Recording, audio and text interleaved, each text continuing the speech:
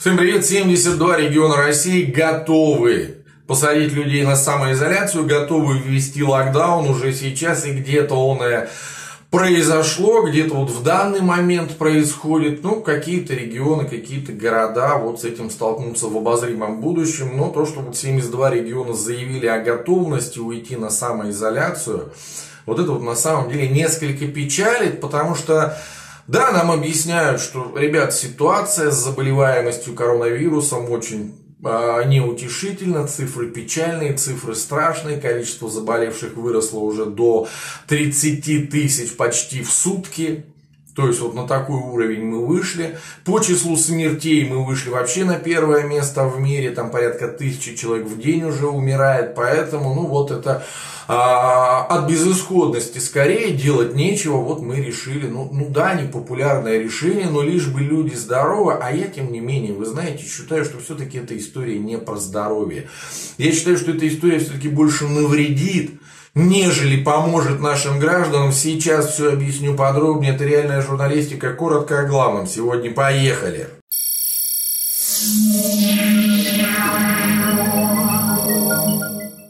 Для начала предлагаю вернуться в июнь текущего года, когда Пенсионный фонд России озвучил страшные цифры.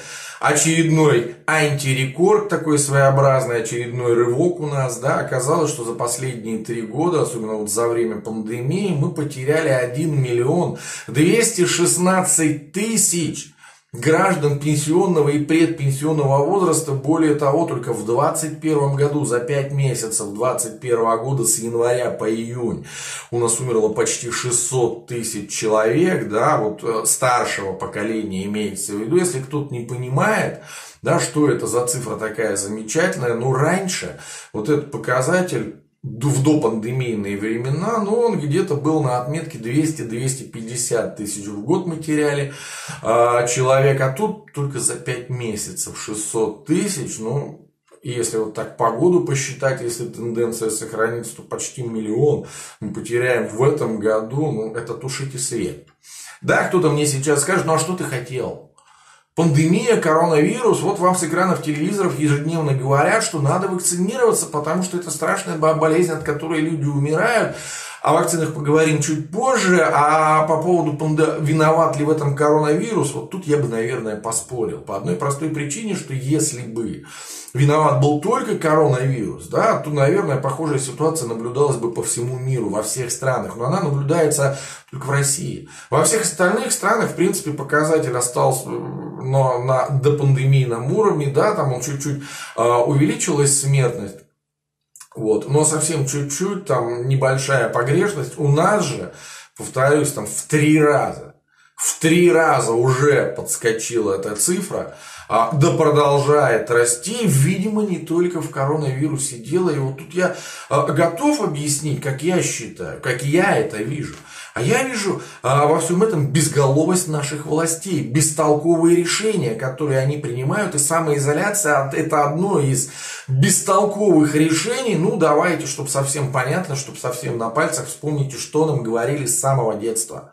Что нам говорили с самого, что нужно, чтобы ты был здоров, чтобы ты, тебе никакая зараза не липла. Ну, во-первых, хорошо питаться, но больше двигайся, да, движение это жизнь, больше гуляй, с детства нам говорили, бегай, прыгай, занимайся спортом, да, тем же э, людям пенсионного, предпенсионного возраста, ну, если вы уже по состоянию здоровья не, не можете бегать, прыгать, заниматься спортом, ну, ходите, то есть не на лавочке сидите, а ходите, поставьте себе какую-то планку, вот я, например, за этот день должен пройти, там, сделать там тысячу шагов, и каждый день. Проходить тысячу шагов, тогда вы дольше проживете, дышите свежим воздухом, по возможности гуляйте где-то в парках, в скверах. Это очень полезно. По возможности проводите время на солнце. Если есть возможность, ездите а, куда-нибудь в какой-нибудь санаторий отдохнуть. Потому что это полезно для здоровья. Солнце, воздух и вода, грубо говоря, наши лучшие друзья. И да, в подтверждение а вот этой вот моей теории, ну, можно вспомнить хотя бы, где у нас а, живут самые такие долгожители, простите за тавтологию, да, в горах Кавказа, да, где-то там в Карелии, да, где-то в Забайкале, там, где природа, там, где воздух, там, где солнце. Где самая низкая продолжительность жизни, да? Где-то на северах, где 11 месяцев зима, где никакого солнца нет, где люди вынуждены сидеть в четырех стенах. И там уже в 40 лет люди инвалидами становятся, ну, за это им за вредность там доплачивают на производстве, если они на каком-то работают. Вот. И это понятная абсолютная история, что же нам говорят сегодня чиновники. Нет, говорят они.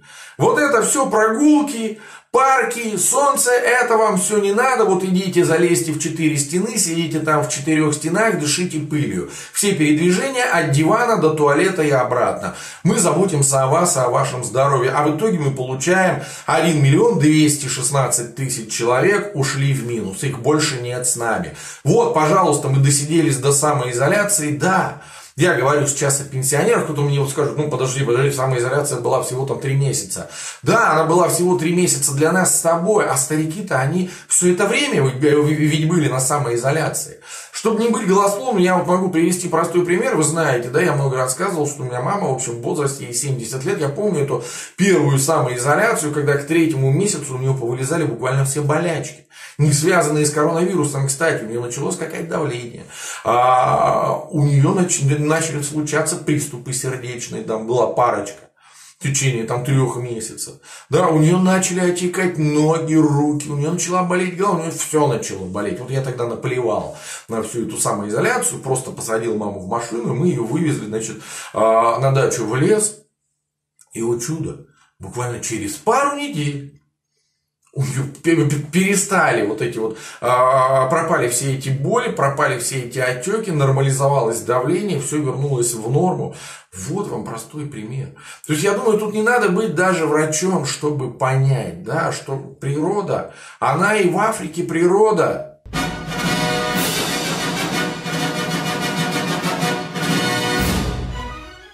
А, ну и что касается вакцинации, слушайте, ну, обратите внимание, а, а, в период, пока эта вакцина не появилась, то есть в прошлом году, они объявили только в августе 2020 года, число заболевших было существенно ниже. Сегодня, значит, появились вакцины. У нас их, насколько я понимаю, уже 4 в стране. А людей прививают. И не надо мне говорить, что у нас маленький процент людей привит. Голикова на прошлой неделе сказала, 42 миллиона человек у нас вакцинированы. Мало, это или много? Ну, давайте приведу другой пример. Чтобы вы понимали, в 2018 году за Владимира Путина проголосовало 53 миллиона человек в абсолютных цифрах. И нам говорят, абсолютное большинство россиян поддержало, значит, Владимира Путина. Да? То есть это что получается? 53 миллиона человек это абсолютное большинство россиян, а 42 миллиона человек это вот маленький процент, что ли? Ну, что за бред? Это, во-первых. Во-вторых, я, я не буду говорить, да, что вакцина это плохо, наверное. Кому-то она может быть да и нужна, но давайте согласимся, что далеко не всем. Зачем колоть всех и каждого? Есть организм у всех разный. Кто-то более здоровый, кто-то менее здоровый. Я вот, например, последний раз был у врача э, лет 20 назад. Лет 20 назад, да, я вот да, вспоминаю, это было где-то в армии, когда я лежал в госпитале, с тех пор э, я не болел острыми респираторными заболеваниями, ну или почти не болел, там, если бывали, там сопли вылезали, то ну не на таком уровне, что я обращался к врачу. Если я обращался к врачу, то есть там у меня пара травм спортивных из юности, вот с ними в основном обращался. Я обращаюсь еще в периоды э, диспансеризации, там я раз в два года ее прохожу, сдаю анализ, это легко проверяется. У каждого из нас есть две такие карточки. Одна это карточка обязательного медстрахования, другая это карточка пенсионного фонда. Да, и когда человек приходит в больницу, неважно, в свою районную или в какую-то платную, где-то там на другом конце страны, одну из этих двух карточек у, нее, у него просят. Без них вас просто не примут даже за деньги. Поэтому это легко проверяется, делается запрос из того же Роспотребнадзора вперед из песней, да, а, тебе дадут всю, вообще все мои похождения по всем клиникам за всю историю, начиная с 91 -го года. Вот, поэтому зачем мне, человеку, который в принципе не болеет, да, разрушать свой иммунитет, колоть что-то? колоть этот компонент вируса, я не знаю, как мой организм себя поведет в отношении него. Но если я ничем не болел 20 лет, то как вы можете вносить меня в группу риска? И есть люди, которые действительно, а, ветерочек подул, они заболели, но с ними тоже надо разбираться, из-за чего болеют. Может, плохая наследственность, может, что-то еще, может, плохо питаются, может, ваша самоизоляция в этом виновата. Нельзя вот так вот оголтело. А в конце концов, почему это происходит? Но мы все прекрасно знаем, почему. Еще раз повторю, потому что чиновники у нас безголовые, которые занимаются медициной в России. Кто у нас курирует медицину в России? Вице-премьер Голикова, который ни одного дня в своей жизни не работала врачом. Кто у нас а, сегодня является министром здравоохранения? Да? Господин Мурашко, которого как врача тоже никто не знает. Кто у нас сегодня возглавляет Роспотребнадзор? Кто у нас главный государственный санитарный врач? Госпожа Попова. Откройте ее биографию, почитайте. Сколько в своей жизни она в принципе работала врачом. В 84-м закончила Ростовский институт. Поработала немножечко врачом. И то последние несколько лет она работала э, на руководящей должности да, в Буденовской больнице. Все с 94 -го года этот человек на чиновничьих должностях. То есть это чиновник. Это люди, которых, у которых нет, либо, либо совсем нет опыта медицинского, а, медицинского, да, либо вот такой вот малюсенький. И вот эти люди вводят нам какие-то локда, локдауны, от которых мы в итоге получаем минус миллион двести шестнадцать а, тысяч пенсионеров уже получили. А что получим в обозримом будущем? Что касается, кстати, да, экономической составляющей вопроса, но сегодня уже просто нет времени об этом говорить. А хронометраж, он не резиновый, но обязательно на этой неделе вынесу это, скорее всего, даже в программу, в реальную журналистику. Все, переваривайте, спасибо, что выслушали. Пока-пока.